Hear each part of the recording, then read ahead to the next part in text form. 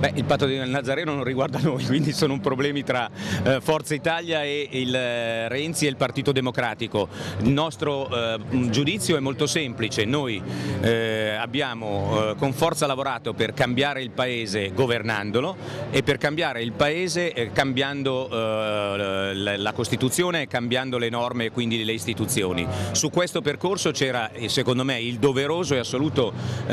necessario dialogo anche con l'opposizione. Mi dispiace che eh, a oggi il patto del Nazareno eh, si sia interrotto, sono convinto che il cambiamento delle regole e della forma di questo Paese debba avvenire anche nella collaborazione, con la collaborazione responsabile da parte dell'opposizione e certo che però non si ferma, quindi io mi auguro eh, che nel percorso eh, già questa la prossima settimana alla Camera o comunque dei prossimi eh, mesi eh, Forza Italia continui a dare il proprio contributo perché è un, meno, è un meno per non Forza Italia o per il PD e un meno per eh, l'Italia. Tra l'altro ci troveremo poi